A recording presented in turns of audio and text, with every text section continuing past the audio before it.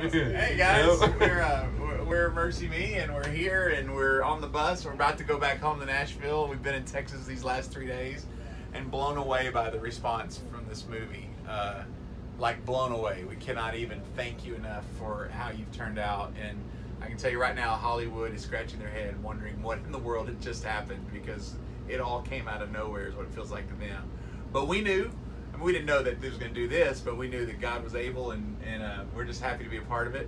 And uh, so, on behalf of the rest of the guys at MercyMe and fake Trace Adkins, the real Brickell, with the reverse ponytail in the front, uh, yes, uh, thank you guys so much. And here's to whatever's about to happen. It's only three days in, and we're freaking out. I don't know what's going to happen after this.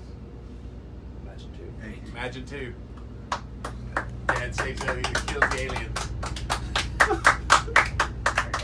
All right, that's good.